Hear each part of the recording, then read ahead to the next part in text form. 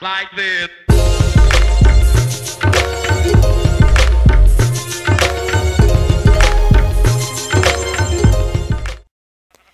Hey guys, Me2sweet here from Perfectly Squared. How sick are you of trying to go in and grab your wool or your milk or whatever and your animals escape? It drives me insane. So I'm going to show you what I did to keep these little guys safe and keep me happy with not having to deal with them getting out.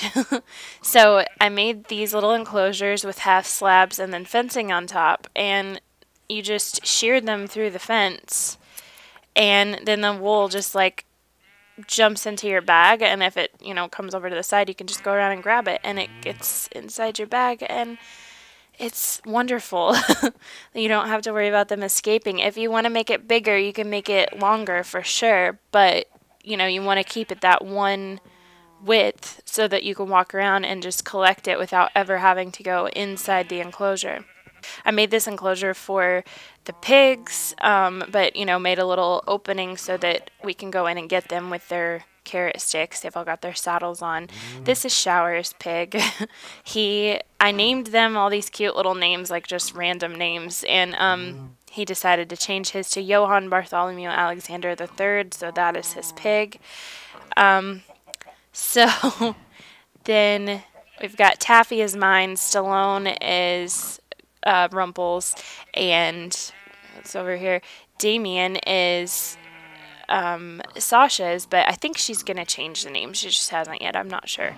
So the same deal with the chickens. You know, you grab the eggs from the chickens, so nothing nothing major there. You just have to wait till they lay some and and just walk around and grab them. Now the cow, you could definitely leave a bigger space because you just have to milk them through the fence. You don't have to, you know, you have to get them closer to the fence and milk them and it's not a big deal. You don't have to collect wool or something that drops.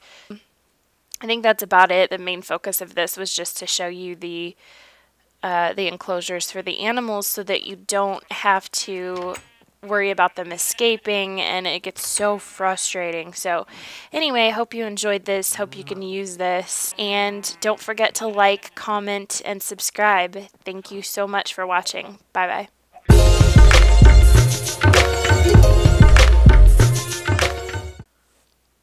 Okay guys, hey, it's Me2sweet from Perfectly Squared and ugh.